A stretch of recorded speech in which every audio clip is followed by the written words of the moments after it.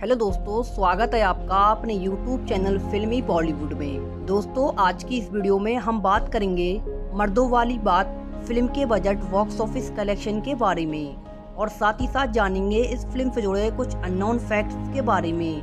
तो चैनल को सब्सक्राइब करके वीडियो के साथ बने रहें। दोस्तों, मर्दों वाली बात एक हिंदी भाषा की एक्शन एडवेंचर ड्रामा फ़िल्म है, जिसे 22 जनवरी सन 1988 में रिलीज़ किया गया था।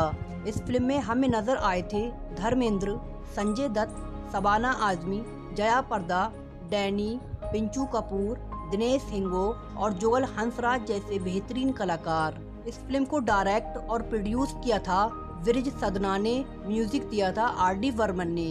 आइए अब जान लेते हैं इस फ़िल्म के बजट और बॉक्स ऑफ़िस कलेक्शन के बारे में। दोस्तों, इस फ़िल्म का बजट था दो करोड़ सत्तर लाख रुपए और इस फ़िल्म ने अपने पहले दिन में पंद्रह लाख रुपए की कमाई करी थी और अपने पहले हफ़्ते में अट्ठावन लाख रुपए का कलेक्शन किया था। और बॉक्स ऑफ़िस इंडिया इस फ़िल्म ने दो करोड़ पचास लाख रुपए की कमाई करी थी और वर्ल्ड वाइड में तीन करोड़ बीस लाख रुपए का कलेक्शन किया था। और ये फ़िल्म बॉक्स ऑफ़िस पर फ्लॉप साबित हुई थी। और इस फ़िल्म को पॉपुलर वेबसाइट आई की तरफ़ से 5.1 आउट ऑफ़ 10 आई रेटिंग मिली हुई है। और ये फ़िल्म सन 1988 में कमाई करने के मामले में अठारहवें नंबर पर थी। आइए अब जान लेते हैं इस फ़िल्म से जुड़े कुछ अननोन फैक्ट्स के बारे में।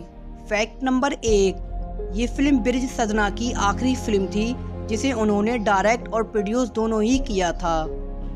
फैक्ट नंबर दो, इस फ़िल्म का टाइटल पहले ज़िंदा या मुर्दा रखा गया था। लेकिन कुछ कारण से बाद में इसे बदलकर मर्दों वाली बात कर दिया गया था। फैक्ट नंबर तीन, ये फ़िल्म धर्मेंद्र की डायरेक्टर ब्रिज सदना के साथ में तीसरी फ़िल्म थी। इससे पहले उन्होंने यकीन और प्रोफेसर प्यारेलाल फ़िल्म में काम किया था। फैक्ट नंबर चार, इस फ़िल्म के बाद डायरेक्टर ब्रिज सदना अपने बेटे को लॉन्च करने वाले थे। लेकिन सन 1990 में उनकी मौत होने के बाद ये फ़िल्म नहीं बन पाई थी। फिर कमल सदना ने अपना डेब्यू अपने पिता के निधन के दो साल बाद सन उन्नीस सौ बानबे में आई फ़िल्म बेखुदी से किया था। तो दोस्तों, ये तो बात हुई। मर्दों वाली बात। फ़िल्म के बजट बॉक्स ऑफ़िस कलेक्शन और इस फ़िल्म से जुड़े कुछ अननोन फैक्ट्स के बारे में। अगर आपको वीडियो पसंद आया हो तो प्लीज़ वीडियो को लाइक शेयर कमेंट और चैनल को सब्सक्राइब ज़रूर करना।